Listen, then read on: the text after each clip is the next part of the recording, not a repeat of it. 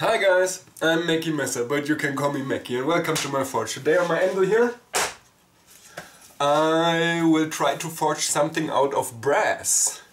I got this little brass piece and I wanted to make a heart out of it, just for decoration. Uh, and I found something very interesting. I'm from Germany and I looked up what uh, brass means in English because I didn't know that it's called brass. And in Germany it's called messing. Uh, but the English word messing means like I'm messing around with you, yeah, you know it of course. Uh, Verwirrung in German. So there is a little. It was quite complicated to find it out because when I put in messing, it showed me the English word messing, like messing around. So brass, messing around, Verwirrung uh, was so crazy. Google knows everything.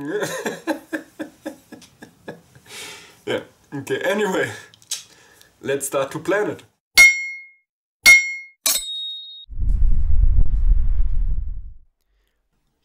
So, I'm making this audio recording uh, like two or three weeks after I did it. More reaction maybe. But anyway, let's turn the lady on. Woo! It's on. Easy like always. Yeah. and here I'm starting to bend it so I can work on pushing the metal to the center to have a nice tip. Then I put it back into the fire and just took a little zip of coffee and everything melted away. Yeah, isn't that nice? I really uh, couldn't uh, uh, uh guess how hot it can get or not, but it was easy to remove, so I could go, go on working. So, that was fast.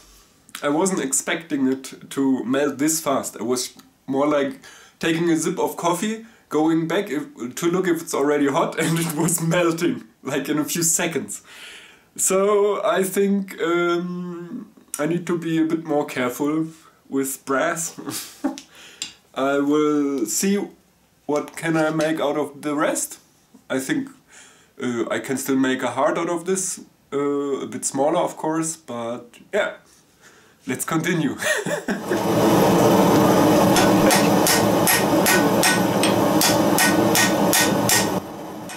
First I wanted to clean off the tips a bit, so the melted side uh, is looking a bit more uh, beautiful and I can see there are big cracks I need to remove before. Maybe cut off some material, but it looked fine.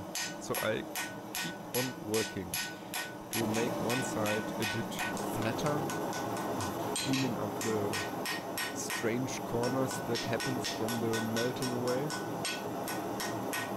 Yeah. And then instead of bending it in the center this time, I'm working on the ends because I already started to work on the ends. During the flattening process, some corners appeared and I rounded. And here you see me bending it again in the center. And then I'm trying to push material into the center so it doesn't get thinner and thinner and thinner where the tip of the heart is.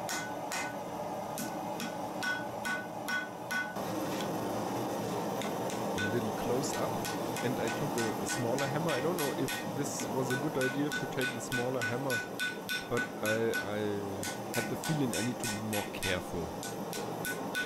I could guess now a bit better this kind of red is where I need to put it out before it starts melting so I don't lose even more material. But you can see the corner slowly happens to exist. And then this happens. I didn't even hammer on it and this happens. No, I don't like to work with brass.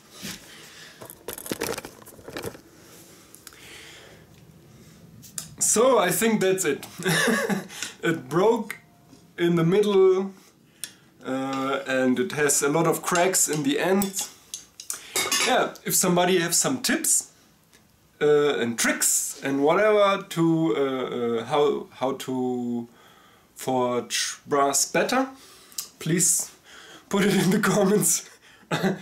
Uh, less heat, more heat, uh, uh, not so many hits.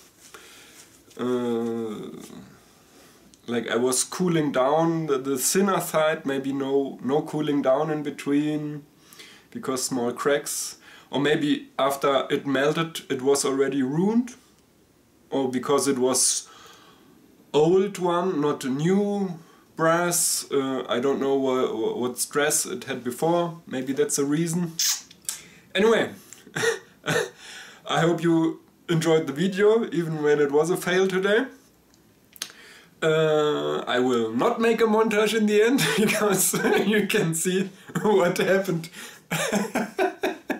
and if you want to support me a bit, leave a comment down below or subscribe to my channel so I know I continue because people enjoy what I'm doing. Or whatever! See you next time! Ciao!